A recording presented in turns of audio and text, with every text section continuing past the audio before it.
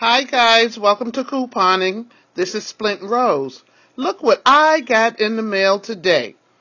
Woohoo! 25% off of my purchase that I'm going to make at CVS.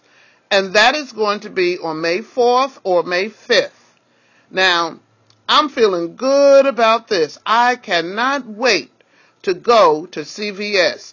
I'm planning my purchase right now. As a matter of fact, I'm planning my haul. Woohoo! Yay me. Okay, check your mail. See if you have one in the mail. Okay? All right, this is Splint Rose. Today is Monday. It is April 22nd, 2013.